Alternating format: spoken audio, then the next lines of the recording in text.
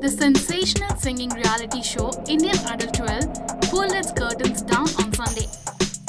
The greatest grand finale ended in a great fashion with people's favorite all-rounder Pawandeep Rajan lifting the winner's trophy of the 12th season of the Sony TV's musical reality show. Pawandeep also won a prize money of rupees 25 lakh and a car. The great grand finale was hosted for 12 long hours on the occasion of 75th Independence. Acting the reality show with some stupendous performances, Pawandeep Rajan was followed by Arunita Kanjilal and Sayli Kamble as runners-up. The finale, which began at 12 pm and continued till 12 midnight, was planned to celebrate show's success over the years showcasing the musical extravaganza with the six finalists Pawandeep Rajan, Arunita Kanjilal, Nihal Tauro, Sayli Kamble, Muhammad Danish, and Shanmukha Priya. The entire show and the finale in particular was a complete delight for fans.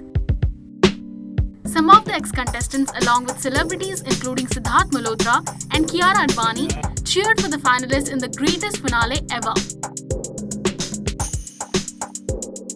Famed singers Udit Narayan, Alka Yagnik, Kumar Sanu, Sukhvinder Singh, Javed Ali and Sadhna Sargam also performed with the finalists on the concluding day. Even South star Vijay Deverakonda shared a video message to boost the confidence of the participants and revealed how he enjoyed watching the show. Well for fans, all's well that ends well, and the season will be remembered for years for numerous reasons. Bureau Report, OTV News.